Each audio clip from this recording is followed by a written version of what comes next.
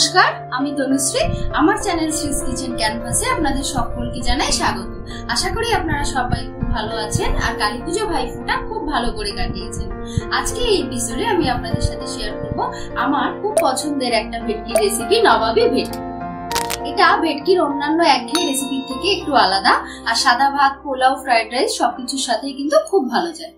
প্রথম থেকে শেষ অব্দি কোনো স্টেপ মিস না করে পুরো রেসিপিটি দেখুন আর কেমন লাগল আমাকে কিন্তু কমেন্টে জানাতে ভুলবেন না। তাহলে দেরি না করে চলুন শুরু করি। এই নবাবী ভেটকি বানানোর জন্য আমি নিয়েছি চার পিস ভেটকি মাছ। এর মধ্যে দিচ্ছি এক স্পুন নুন হাফ স্পুন হলুদ গুঁড়ো আর এক টেবিল স্পুন সর্ষের তেল। এই নুন, হলুদ আর সর্ষের তেল মাখিয়ে মাছের পিসগুলোকে পনেরো মিনিটের জন্য ম্যারিনেট করে রাখব।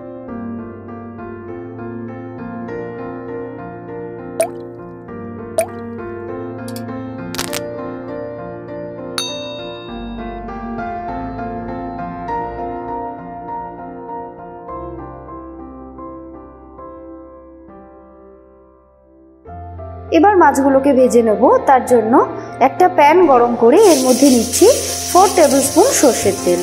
তেল ভালোভাবে গরম হয়ে গেলে একে একে মাছের পিসগুলো ছেড়ে দেবো।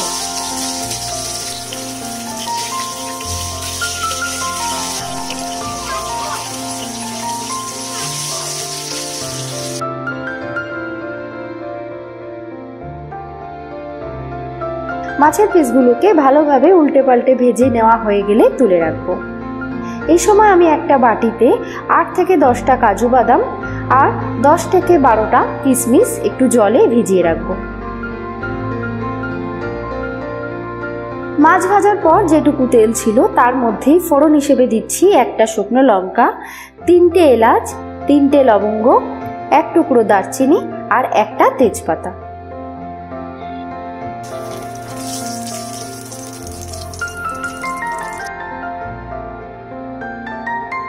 ফোড়ন একটু নাড়াচাড়া করে ভেজে নিয়ে এর মধ্যে দিয়ে দেবো একটা মিডিয়াম সাইজের পেঁয়াজ কুচি।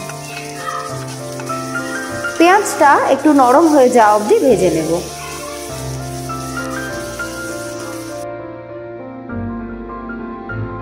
এই সময় আমি গ্রাইন্ডার জারের মধ্যে নিচ্ছি একটা ছোট সাইজের পেঁয়াজ হাফ ইঞ্চ আদা, পাঁচ ছয় কোয়া রসুন আর দুটো কাঁচা লঙ্কা। একটা মিহি পেস্ট বানিয়ে নেব। কড়াইতে এই পেস্টটা দিয়ে আরও মিনিট দুয়েক ধরে ভালোভাবে কষতে হবে, যতক্ষণ না এই আদা রসুনের কাঁচা গন্ধটা চলে যায়।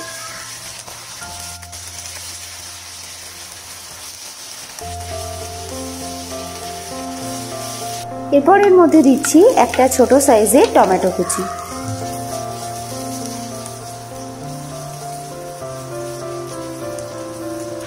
টমেটো যাতে ভালোভাবে নরম হয়ে যায়, তাই এর মধ্যে দিচ্ছি খানিকটা নুন।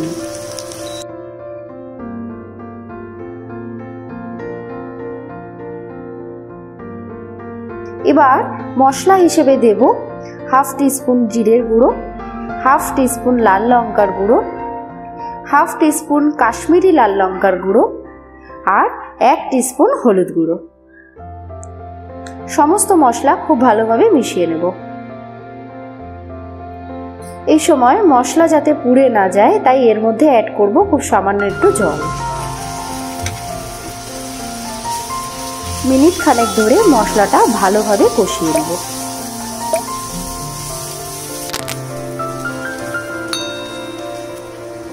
এই সময় গ্রাইন্ডার জারের মধ্যে নিয়ে নেব থ্রি টেবিল স্পুন টক দই। এর মধ্যে দিচ্ছি সেই ভিজিয়ে রাখা কাজু আর কিশমিশ আর দেব এক টিস্পুন চিনি।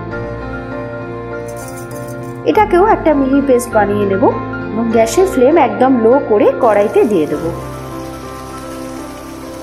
গ্রাইন্ডার জার ধুয়ে আর একটু জলও অ্যাড করব। সমস্ত কিছু খুব ভালোভাবে মিশিয়ে নিয়ে দু থেকে তিন মিনিট ধরে কষাতে হবে। দু তিন মিনিট ধরে কষাতে থাকলে দেখা যাবে এর থেকে তেল বের হয়ে গেছে। তার মানে মশলাটা ভালোভাবে কষে গেছে। এরপর এর মধ্যে আমি গ্রেভির জন্য কিছুটা জল অ্যাড করছি। যেহেতু এই রেসিপিতে গ্রেভি খুব পাতলা হয় না, তাই এর মধ্যে কিন্তু অল্প জলই অ্যাড করলাম। আর স্বাদ অনুযায়ী দেব কিছুটা নুন আর ওয়ান ফোর টিস্পুন গরম মশলা গুঁড়ো। সমস্ত কিছু খুব ভালোভাবে মিশিয়ে নেব। এরপর এর মধ্যে দিয়ে দিচ্ছি ভেজে রাখা মাছের পিসগুলো মাছের পিসগুলোকে একটু উল্টে দেব। এরপর গ্যাসের ফ্লেম কিন্তু একদম লো করে দিয়ে একটা ঢাকা চাপা দিয়ে মিনিট দুয়েকের জন্য রেখে দেব।